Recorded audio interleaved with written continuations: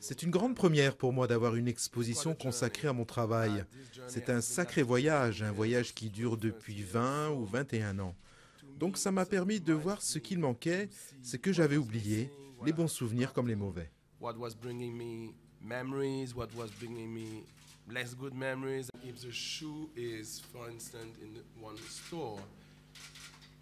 Si la chaussure est par exemple dans un magasin, je ne veux pas évoquer le confort.